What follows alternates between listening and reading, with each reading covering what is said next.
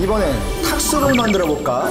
센척 또 넣고 중2병 또 넣고 뭐야 이건? 침대래? 뭐 어디다 쓰는 거야? 뭐 하는 거야 이거? 나 몰라 상남자 이딱 씁니다. 신개념 꿀정보 버라이어티 Boys and Girls 4월 10일 첫 방송